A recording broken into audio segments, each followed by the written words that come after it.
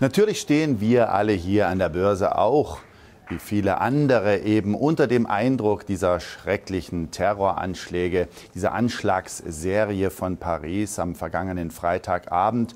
Und es ist selbstverständlich, dass uns dieses Thema auch am Dienstag weiter beschäftigen wird. Und je nachdem, wie sich die Nachrichtenlage dazu entwickelt, dürfte das natürlich auch den Börsenhandel, den Handel an den Wertpapiermärkten weltweit beeinflussen. Darüber hinaus schauen wir aber natürlich jetzt mal nach, welche Daten sonst noch so im Kalender stehen am Dienstag, nämlich dem 17. November 2015. Und da haben wir regulär um 8 Uhr am Morgen die Entwicklung der erwerbstätigen Zahl in Deutschland auf der Agenda. Um 11 Uhr kommt dann ein sehr wichtiger Datensatz, der von den Marktteilnehmern immer mit besonderer Beachtung gewürdigt wird, nämlich der Index der ZEW Konjunkturerwartungen für den Monat November und zeitgleich um 11 Uhr kommt derselbe Index auch nochmal für die Eurozone heraus. Dann haben wir um 14.30 Uhr die Entwicklung der Verbraucherpreise in den Vereinigten Staaten von Amerika, also die aktuelle Inflationsrate, wenn man so will.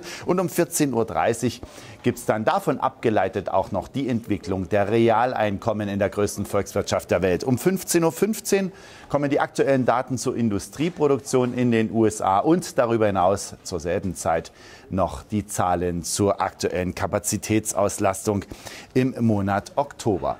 Darüber hinaus werden wieder einige Unternehmen ihre Quartalsbilanzen vorlegen. Zu den prominentesten Vertretern hierbei werden am Dienstag unter anderem EasyJet, Home Depot, United Internet und Walmart Stores gehören.